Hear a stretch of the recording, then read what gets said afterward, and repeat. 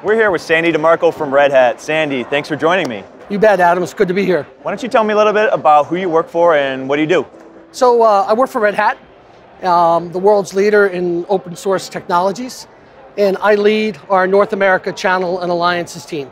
Let's talk a little bit about what Red Hat is doing here and doing with NetApp. NetApp and Net, uh, Red Hat have a very strategic alliance relationship where our joint technology portfolios are delivering hybrid cloud solutions for our mutual customers in the enterprise. So obviously hybrid cloud is a big topic these days, the data fabric. How does Red Hat feel they fit into that? How is Red Hat expanding that ecosystem with NetApp? Well, our portfolios are very complementary.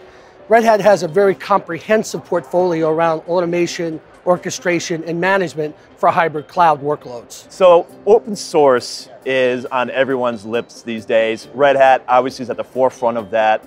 NetApp has been a really huge advocate of the open source community. How are you guys working together to kind of further the open source community? Again, it, it, collaboration's in our DNA.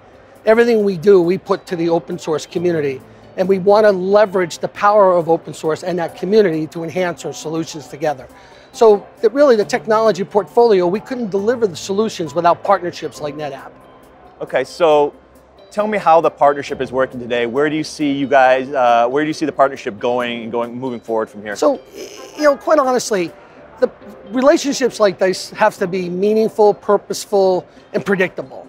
And we really converge at the account level.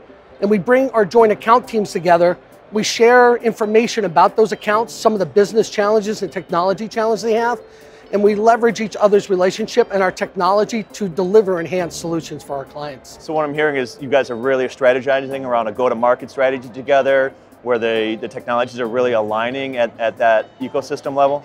given that we're an open source company, collaboration is at the core of what we do. So really going into those discussions and being open and transparent to figure out what clients need is really what helps us differentiate our solutions with our customers and quite frankly how we leverage our partnerships with companies like NetApp. All right, thank you very much. You bet, Adam. Thank you.